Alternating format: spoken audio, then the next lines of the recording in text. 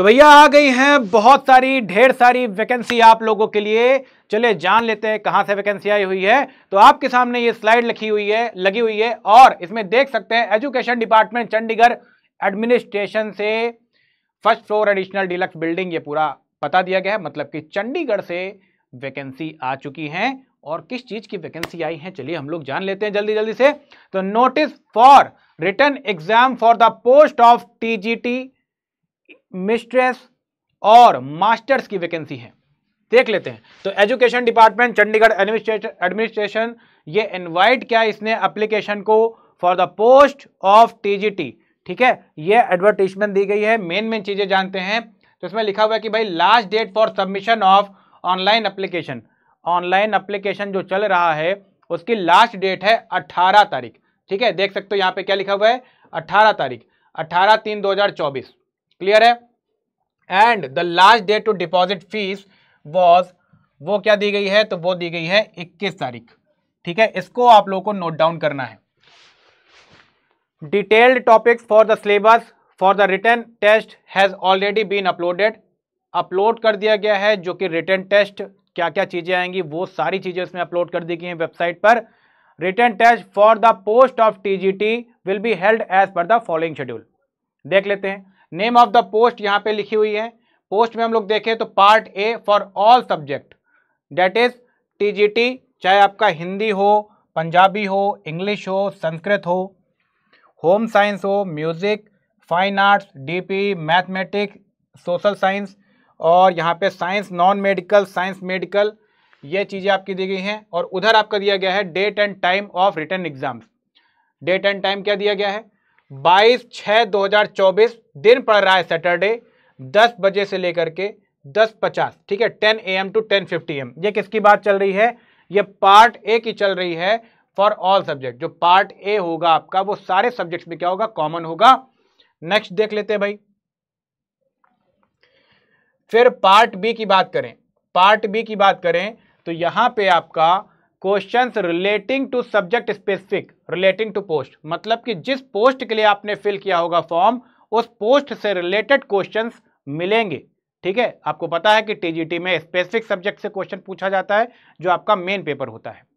तो TGT SST देख लेते हैं भाई। सोशल साइंस के लिए जो आपका डेट यहाँ पे एग्ज़ाम होगा, वो होगा तेईस तारीख को साढ़े नौ बजे से ग्यारह दस ए तक, ठीक है? इलेवन टेन ए तक। तो यहाँ पे सभी आप देख सकते हो डेट्स लिखी हुई हैं, दिन लिखा हुआ है, और यहाँ पे कब कब एग्ज़ाम होगा टाइम भी लिखा हुआ है। तो टीजीटी साइंस नॉन मेडिकल के लिए तेईस तारीख को ही होगा। टीजीटी साइंस मेडिकल के लिए कब होगा भाई? चौबीस तारीख को होगा।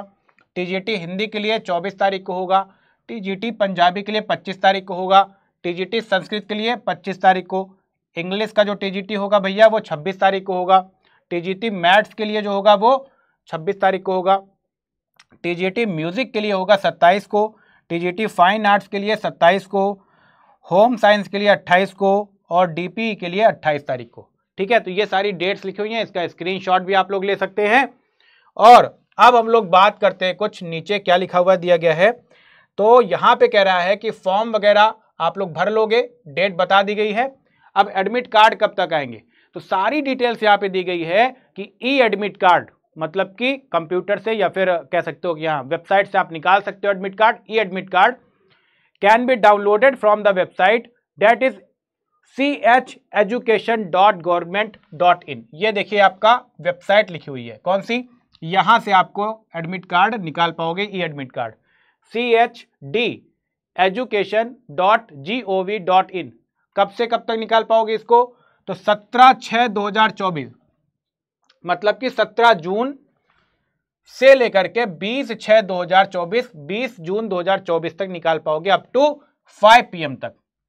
शेड्यूल या स्केड्यूल दिया गया है for submission for objection against answer key will be as under ठीक है? आपका पेपर हो जाता है, अगर कोई क्वेश्चन गलत आपकी तरफ़ से लगता है तो उस पर आप ऑब्जेक्शन कर सकते हो।